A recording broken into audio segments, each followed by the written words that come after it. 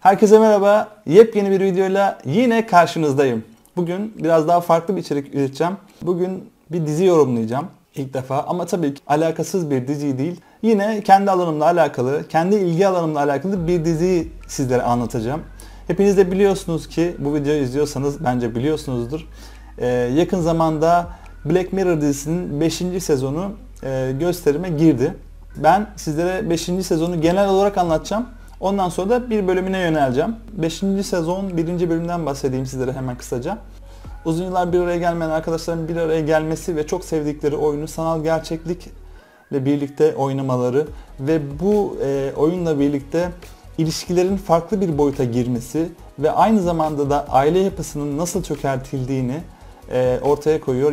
İkinci bölümde ise sosyal medya çalışanının kaçırılması ve ortaya çıkan kriz ele alınıyor. Bu krizin detayları çok kıymetli bence. Üçüncü bölümde ise Rachel, Jack ve Ashley Two var. Bu, bu kısımda ise yalnız bir genç kızın e, idol olarak görmüş olduğu e, pop yıldızına karşı olan tutkusu ve bu onun için pop yıldızı için yapılan yapay zeka ile birlikte geliştirilmiş olan robot var. Bunu saplantı haline getirmiş olan bir kız var. Pop yıldızın hayatının alt üst olması ve bu Ashley Two adındaki robotla birlikte bu hayranı olduğu kızın onu onu yardım etmeye çalışmasının vermiş olduğu bir macera var. Bunu da tavsiye ederim. Ben ikinci bölümü anlatacağım sizlere. Ee, bu kısımdan sonra spoiler içerebilir. O yüzden diziyi izleyecekler için şimdiden uyarayım.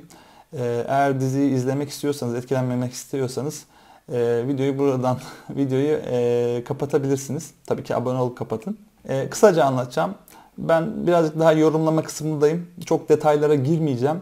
Sadece bir taksi şoförünün e, bir sosyal medya firmasındaki çalışanı kaçırması ve kaçırdıktan sonraki meydana gelenleri birazcık irdeleyeceğim ben.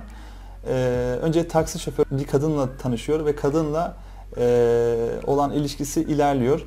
Bu esnada şöyle bir şey oluyor. Kadın çocuğunun intihar ettiğini söylüyor ve neden intihar ettiğine bir anlam veremiyor. Ve anlam veremediği için kızın sosyal medya hesabına girmeye çalışıyor. Ve her gün 3 tane şifre deniyor. Tutturabilmek için bir not defteri tutmuş. Hepsine şöyle üzerini çiziyor sürekli. Bir türlü tutturamıyor. Burada şunu anlayabiliyoruz aslında insan çok merak ediyor böyle acaba hani son konuşmaları neydi gibilerinden. Burada şunu anlayabiliyoruz aslında o sosyal ağın kızını annesinden bile daha çok bildiğini anlıyoruz verdiğimiz verilerin ne kadar çok önemli olduğunu, sosyal medya hesaplarının ne kadar e, bilgilerimizin ne kadar da fazla e, hakim olduğunu öğrenebiliyoruz ki annesi bile kızını tanıyamıyor, kızını bilemiyor neden intihar ettiğini sosyal medya hesabına girip kontrol etmek istiyor. Konumuz sadece bu değil, bu taksi şoförü daha sonradan e, bu so farklı bir sosyal medya sitesindeki çalışanı kaçırıyor. Şöyle bakıyor işte takım elbiseli, e, böyle gayet yöneticiymiş gibi, maddi durumu iyiymiş gibi bir izlenimi var. Gidiyor farklı bir yere kaçırıyor. Yalnız çocuğun tamamen, kaçırdığı kişinin tamamen bir stajyer olduğunu, e, aslında ben bu değilim diyor. Burada çok taksi şoförü çok e, önemli bir şey söylüyor. İşte hepiniz yapaysınız, hiçbiriniz gerçek değilsiniz. İşte bu giyim, bu kuşam dışarıdan baktığım zaman diyor hiç böyle değilsiniz ama böyle bir izlenim veriyorsunuz sadece. İşte çalışanlarınız bile e, sürekli telefona bakıyor. Sanki uyuşturucuymuş gibi böyle başınızı telefondan kaldıramıyorsunuz falan diye böyle bayağı bir sağlam mesaj veriyor. Sonra polis tespit ediyor. Çocuğun başına çuval geçiriyor. Hızlı anlatıyorum. Ve en sonunda kaçırıyor çocuğu. Ve böyle bir yol kenarında bir tarlaya giriyor ve devam edemiyor. Bu esnada e, adam çocuktan şu bilgiyi istiyor. Yani madem diyor sen stajyersin e, mutlaka sizin CEO'yu tanıyan birine ulaşabilirsin diyor. E, CEO kim? Billy Barry diyor. Ben diyor ona ulaşmak istiyorum diyor. Çocuk tabii ki e, ona ulaşamıyor. O zaman ona tanıdığı birileri vardır. Ona ulaşabilirsin diyor. Ve en sonunda bu şekilde onunla bir şekilde temas kurmaya çalışıyor. Bu esnada da tabii ki polis var. Polis bekliyor. Keskin nişancılar falan hepsi bekliyor. E, ne yapacağını merak ediyorlar. Şimdi burada şöyle bir mevzu var. Diretiyor, görüşmeye çalışıyor falan. Firma bir, bir türlü bağlamıyor. Çünkü onunla işte pazarlık atıp ondan ciddi anlamda e, bir fidye isteyeceğini düşünüyorlar. Burada şu fark ediyor birazcık benim için. Yani farklı olan şey şu. E, sürekli telefonla görüşme esnasındalar. Firma şunu yapıyor. Telefonla görüşüyorken e, bekletme beklemeye alınıyor ve ona bir müzik dinletiyor. İşte biraz daha psikolojikmen kendini hani sakinleşsin diye. Ama tabii ki adam da gerçekten de zeki. Hepsine şey yapıyor. Hani her şeyin farkında aslında adam da.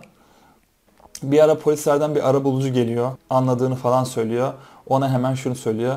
Sen şimdi beni diyor anlıyormuş gibi yapacaksın. Arkadaşımmış gibi davranacaksın.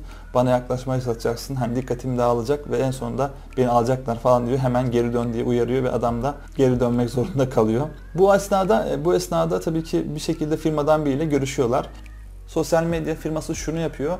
Telefonla görüşme esnasında müzik dinletiyor dinlendirici olsun diye ama şöyle bir uyanıklık yapıyor. Sesi dinlemeye devam ediyor ve arka planda ne oluyor ne bitiyor hepsini dinliyor. Adam da aynı zamanda e, sosyal medyada neler paylaşıldığına bakıyor. Hatta bir ara çocuğa şey diyor, kaçırdığı stajyere diyor ki silah gerçek değil diyor ve haber bir şekilde hemen yayılıyor. İçerideki dışarıdakilerin hepsini duyuyor. O esnada bisiklet süren çocuklar da e, sürekli anlık olarak bu paylaşımları yapıyor. Çünkü etkileşimleri çok yüksek. Adam bunu fark edince tekrardan silahının gerçek olduğunu söylüyor. Bu esnada Billy Barry'e ulaşmaya çalışıyor insanlar. Bu insanlar e, Billy Barry'de şey yapmış aslında hani ne kadar tezat yani şöyle söyleyeyim teknolojiyle çok aşina olan bir insan ama kendini tamamen böyle işte teknolojiden soyutlayıp bir cam odadan olan bir evde inzivaya çekmiş bir şekilde kendini dinlemeye almış bir şekilde duruyor. İşte düşünün FBI falan araya giriyor. Dizi burada şu izlenimi veriyor. E, sosyal medya şirketini çok tepeye koyuyor. Bill Barry denilen CEO'yu da daha da üste koyuyor. Çünkü niye? Çünkü bütün bilgiler onlarda, veriler onlarda. Polis tanımlayamadan sosyal medya firması o adamın en son ne paylaştığını vesaire bütün hepsini böyle keywords'lerle birlikte şey yapıyor, tanımlıyor. İşte şunu paylaşmış, kelimeler bunlar, en çok şunlardan bahsetmiş şeklinde. Hepsini belirtmiş. Hepsini polisten daha iyi biliyor. Bilgi güçtür. Ne kadar bilgi varsa o kadar da güçlüsündür. Sosyal medya firması orada gerçekten de güçlüydü ve zaten e, dizinin o kısmında söylüyor. Şunları şunları var, bunları bunları var, şu şunları şunları paylaşmış şeklinde polisi şaşırtıyor adeta. Burada e, sonuç olarak e, Bill Barry'e Billy Barry'e ulaşılıyor. E, Billy Barry'e anlatıyorlar falan bağlanma, görüşme şeklinde şeyler söyleniyor. Billy Barry FBI'yi resmen böyle şey yapıyor.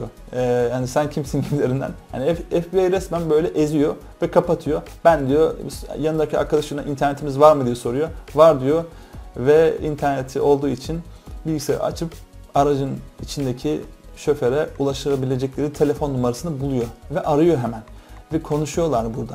Buradaki e, diyalog da çok önemli. E, özellikle hani buralara çok dikkat edin ve şunları söylüyor. İşte taksi şoförü aslında biraz duygusal bir yani bayağı bir duygusal bir kriz geçiriyor diyebiliriz.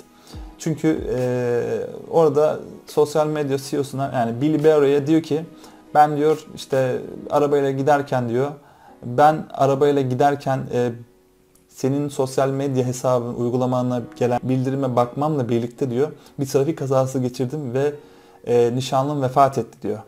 Hani bunu siz yaptınız. Hani evet kendisinin de suçunun olduğu zaten kendisi bir anlık baktığı için vicdan azabı çekiyor ama tabii ki Billy Barry'i de e, suçlu buluyor. Bunu ona anlatıyor işte.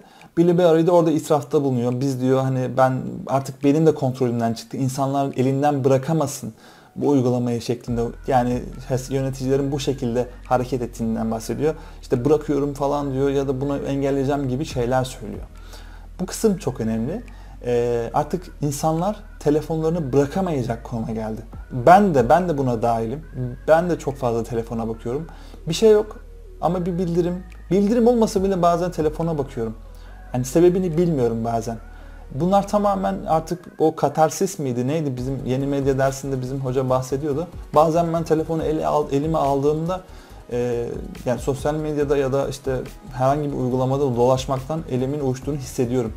İşte bunlar sanırım hep bu yapılan planların sonucu oluyor. Yani biz insanlardaki etkisi oluyor. Sonuç olarak e, bu dizide devam ediyor şey sohbetleri devam ediyor. İşte Billy Barry'i yönlendirmeye çalışıyorlar. İşte yazıyla bu sefer karşısına geçiyorlar. Şöyle yap, böyle yap, işte rahat konuş. İşte onun yerine kendini onun yerine koyuyormuş gibi konuş gibi yorumlar yapıyorlar. En sonunda Billy Barry hiçbirini sallamıyor. Kapatıyor laptopu. Telefona konuşmaya devam ediyor. Kendi hayatına son vermesin diye bu sefer çalışıyor. Senin için ne yapabilirim diyor. Mutlaka bir şey yapabilirim. Mutlaka elimden gelen bir şey vardır diyor. Bu esnada e, o adam şunu istiyor.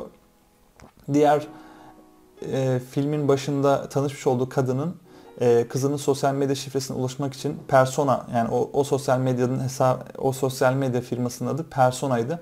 Persona'nın tanıdığın var mı diyor ve e, o kadının kızının hesabına erişmesi için Persona'nın yetkilisine ulaşma, ulaşıyor.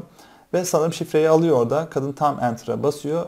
O esnada da e, keskin nişancılar o adamı vuruyor. Şimdi bu tarz dizilerde şunlar çok önemli. Biz aslında biz izliyoruz geçiyor. Bazen hani çok ince hesaplar yapılıyor. İşte bakıyorum şimdi diğer diziler yani diziyle alakalı çekilen videolara falan da bakıyorum.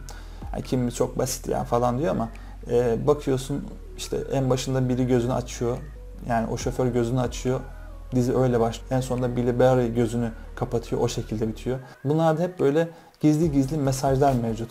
Çözümlemesi belki de yani kendi adıma söylüyorum birkaç kere izlemek gerekir belki de diye düşünüyorum. O yüzden bu kadar kolay çözümleneceğini düşünmüyorum bazı kısımlarının. Kameranın açısından tutun birçok şeyin isimlere kadar birçok şeyin e, ince hesaplanmış olduğunu düşünüyorum Netflix'te. Yine bu bölümle ilgili farklı bir bakış açısını daha detaylı, daha ince irdelenmiş e, bir şekilde incelemek isterseniz size Barış Özcan'ın videosunu önerebilirim. Kartlar kısmından videoyu izleyebilirsiniz. Genel hatlarıyla dizi bu şekilde. E, bundan sonra Netflix ya da buna benzer dizileri de e, yorumlamayı düşünüyorum. Bu çektiğim video ve buna benzer videoları izlemek için videomu beğenmeyi ve kanalıma abone olmayı unutmayın. Kendinize iyi bakın.